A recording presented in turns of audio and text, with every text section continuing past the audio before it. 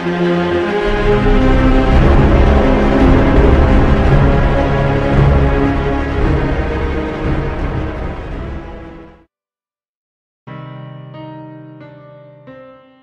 know our strategies. They've learned our weaknesses, and the alien attack nearly destroyed us.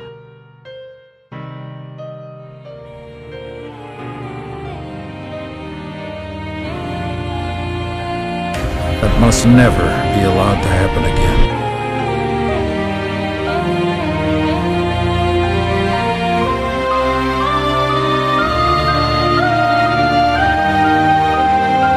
If we're going to survive, we need a new kind of soldier. One who doesn't think the way we think. Fear the thing